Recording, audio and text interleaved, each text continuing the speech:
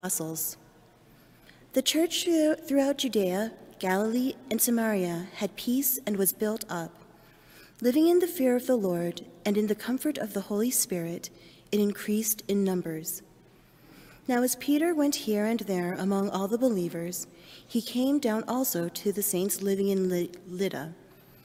There he found a man named Aeneas, who had been bedridden for eight years, for he was paralyzed. Peter said to him, Aeneas, Jesus Christ heals you. Get up and make your bed. And immediately he got up. And all the residents of Lydda and Sharon saw him and turned to the Lord. Now in Joppa there was a disciple whose name was Tabitha, which in Greek is Dorcas. She was devoted to good works and acts of charity. At that time she became ill and died. When they had washed her, they laid her in a room upstairs.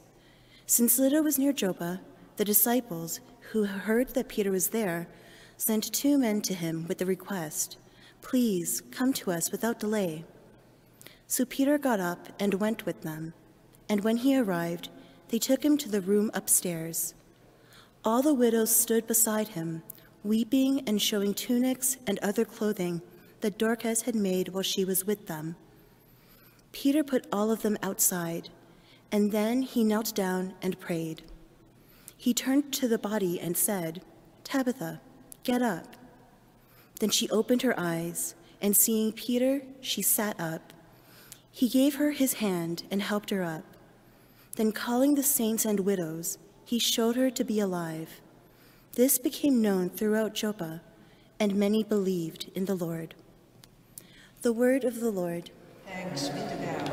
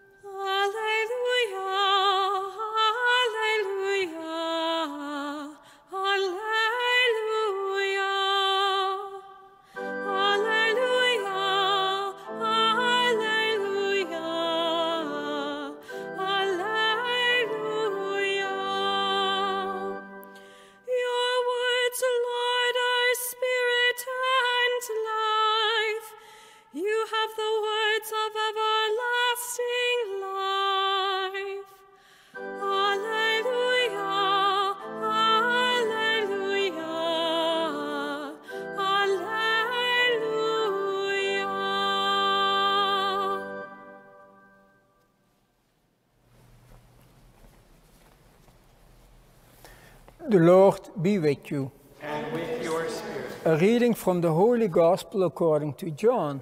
Glory to you, Jesus said to the people, Very truly I tell you, unless you eat the flesh of the Son of Man and drink his blood, you have no life in you. When many of his disciples heard it, they said, This teaching is difficult. We can, who can accept it? But Jesus, being aware that his disciples were complaining about it, said to them, Does this offend you? Then, what if you were to see the Son of Man ascending to where he was before? It is the Spirit that gives life, the flesh is useless. The words that I have spoken to you are spirit and life, but among you there are some who do not believe. For Jesus knew from the first who were the ones that did not believe and who was the one that would betray him. And he said, For this reason I have told you that no one can come to me unless it is granted by the Father. Because of this, many of his disciples turned back and no longer went about with him. So Jesus asked the twelve, Do you also wish to go away? Simon Peter answered him, Lord, to whom can we go?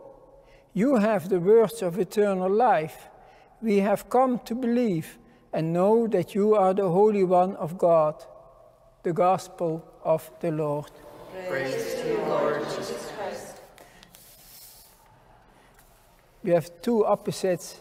It's beautiful how we have the Gospel reading where Jesus is teaching, and it just becomes too difficult.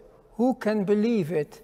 And the only one, a few left, and Simon Peter answers, But to who can we go?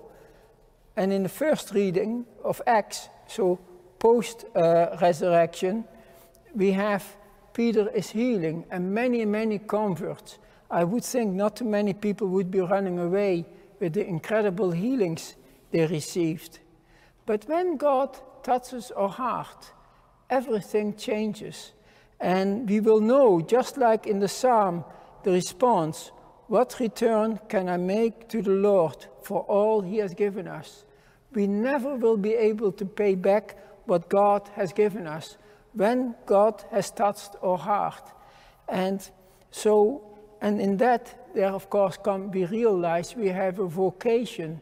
And of course, everyone has a vocation. A child has a vocation to be a good child and to learn. But as adults, of course, we have to also choose a vocation. And it can be a lay vocation, it can be a vocation in the financial industry, bringing God in a very harsh um, uh, uh, environment, or it can be to religious life. And often, when, when young people think, especially young men, think of religious life, they think of the diocesan priesthood, and its most priests are obviously diocesan but they often overlook that there are so many other choices.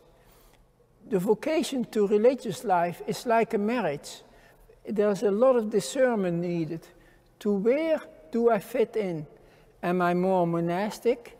Am I more uh, in community? Do I long for more community life? Am I someone who likes to be on the go and is not afraid for, of many changes? And so we have the different streams. Of course, we have the Jesuits, I'm a Jesuit, the Franciscans, Carmelites, Dominicans, Benedictines, and so on. And they all have their own charism. And it's to find out where one belongs. Of course, as a Jesuit, most Jesuits, Jesuit priests, are not uh, working in parishes. Only 10% apparently work in parishes. But Jesuits can be found everywhere, uh, mainly in universities, science, retreat centers, and so on. We're all, we're literally all over the place. And, um, and that's where our work is. We are called to be on the fringes of the church. So, for instance, interreligious dialogue with, uh, with uh, Muslims, uh, Hinduism, and so on trying to build those bridges for the church already for 400 years. it can be missionary work. I just had a new community member, uh, Father Bill Robbins, who was a science teacher in Nepal for 44 years. And he comes back, uh, has come back to Canada because of health reasons. And so Jesuits are everywhere, and it is for someone to be on the go. In a, US province, US Jesuit province, a number of years ago had the slogan, become a Jesuit and travel the world. And literally, we will travel the world. In a formation, in a formation, we, we are sent to different places. They call them experiment. Experiments might be a hospital, might be a third world experience in the south. Uh, we, we go everywhere. My own studies, although I entered at a late life, I've been in the US, Australia, and of course Canada. But it is to form someone with a global view, not a narrow view, uh, because a diocesan priest is formed to be serving a local bishop in local churches, while we are called to all kinds of places. And the world, a broad world view is very important, that we understand that different people do the same thing in completely different ways. And so that's the Jesuit life, and to be ready to be moved wherever. And so we have a fourth vow, which means to be available to the Pope at any time. So if the Pope, eh, the Pope is not going to call me, but if I got a call tomorrow to go to Timbuktu, I will be packing my suitcase and go to Timbuktu. Amen. And so let us bring our prayers before the Lord.